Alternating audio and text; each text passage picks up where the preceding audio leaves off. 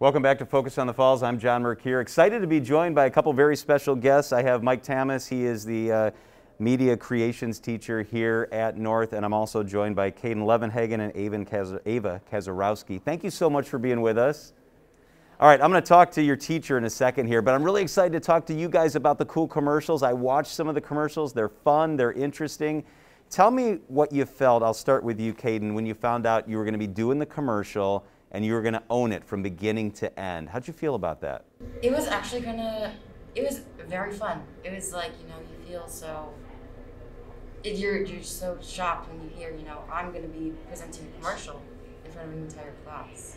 That it's yours. Like Yeah. you're gonna, you get to come up with the idea, you execute how it's shot, getting it put together, all of it, right, from beginning to end. Yeah. Ava, was it overwhelming? Was it scary? Um, was it exciting? Kind of talk through how you felt about that. It was really exciting. I didn't really feel that overwhelmed because I agree with Kaden. It was like, oh, we're, we're going to be presenting a commercial. We're going to be recording it at the store. It was just really exciting. Okay, I'm going to ask you about each of your commercials in a minute, but first, Mike, I want to ask you about. I, I love this because it's a partnership between your students, your class, and the community. Can you talk about that partnership that develops as this project gets underway? Right. I mean, I always feel it's important. Can we find a way to bring the community into the classroom and vice versa? And this project really gives us that opportunity to get the kids out there and get um, hanging out with businesses and talking to them and how can we work with them. And it provides an opportunity not only to get the students out into the community, but to get the community to understand what we're doing in the classroom and to really work with each other. And you know, my goal is that we make commercials that make the students and parents want to go to these businesses and, and spend money there because, you know, during the pandemic, who's been hurting? It's our local businesses, right? So maybe this is our way of giving back to the community a little bit. They gave a lot to us with the referendum. Maybe this is a small way that we can give back to them. And I think it's a really great opportunity. I love that. That's a great way to put it. So your kids are excited. We have a couple here we're going to talk to about their commercials in a second. The community, how do the businesses react? They must be thrilled when this happens too. Yeah, so these guys, they both, they had two different groups. They both did Poppy in Time. And I remember the first time that I walked into Poppy in Time, um, the owner, Layla, she's like, Oh, I know you. I'm so excited. We've been waiting for you to ask us. So um, we, that was really cool to see. And we've had, uh, especially the businesses we had this year, um, they've worked with us before and they've loved what we've done. And so they're working with us again. So uh, every year that we've done this, we've always seemed to have really good interactions, and the business owners want to do this with us. So it's been good I love so it. far. It's a great partnership. All right, let's talk about your commercial. So you both featured Poppy and Time, a cool local shop here in the Falls that's trying to get through the pandemic.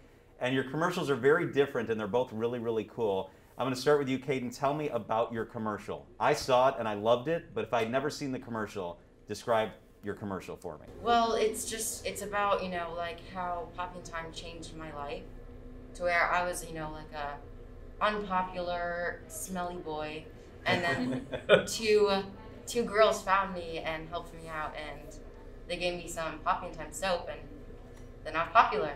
You became fun, you became popular. Yeah, I was the guy now. How fun was it to put it together? It was phenomenal. It was like one of the best things I've done in my entire life. Was it difficult? Was it more difficult or less difficult than you thought as you thought about it from the beginning and then how it ended up actually taking place? Well, I was kind of concerned about the going to the store part, but Layla, she's such a good business owner and she was so helpful and she's in our commercial. But yeah, it was just an overall great experience. Well, you did a great job putting all the pieces together. It was really cool. All right, Ava, you also did Poppy in Time. Tell me about your commercial. Well, ours is about we have four students who are having a really bad day, um, all different scenarios, and they head over to Poppy in Time.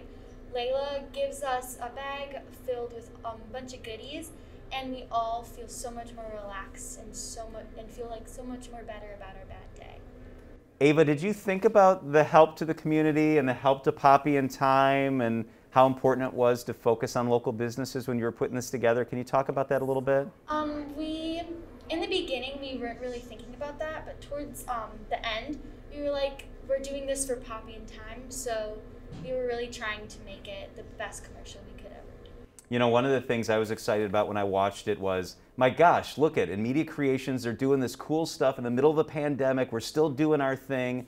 Has it been difficult, Caden, learning differently, working on projects differently this year than in other years? Yeah, and it's one of it's actually it's super hard and very difficult because you know doing projects you have to meet up with groups out of school and you know you got to social distance and it's just really difficult to communicate with people when you have to do it you know over FaceTime instead of being with your friends.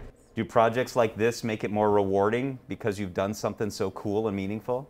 Yeah, it, it just like makes your heart warm when you can see you know how like you're helping out a local business. So Ava, I know you're learning a lot virtual these days. When you can work collaboratively on a project like this and be in the community, how important is that? It's really important um, that I get to actually work with people in person. It's a really great experience um, during this pandemic because during virtual, we don't really do many projects.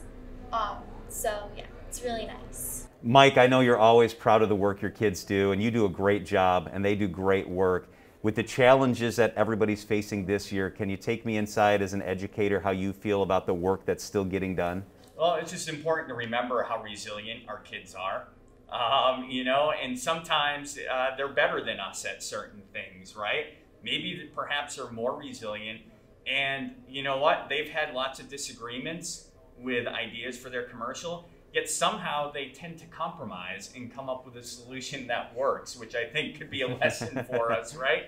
Uh, but I've just been really impressed how, no matter the obstacle, um, they really took to having a sense of pride about the work they're doing, which is always nice to see. I think sometimes adults look at kids and go, oh, if only they had pride in their work. Well, you know what? My students have pride in their work, and I think it shows through in the commercials they have.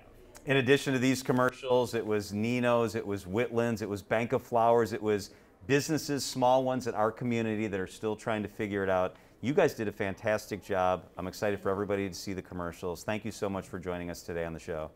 Yeah. Thank you.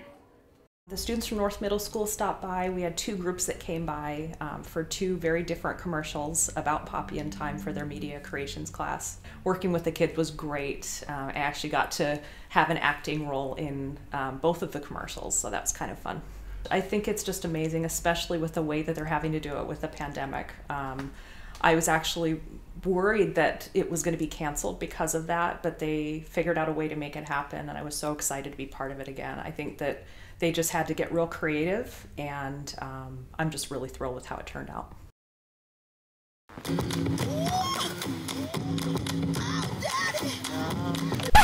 What's that smell?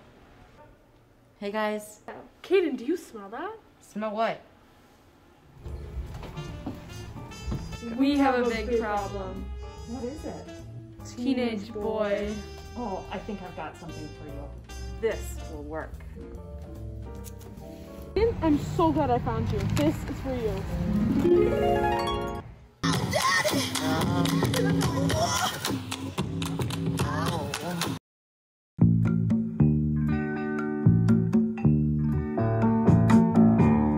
I can see clearly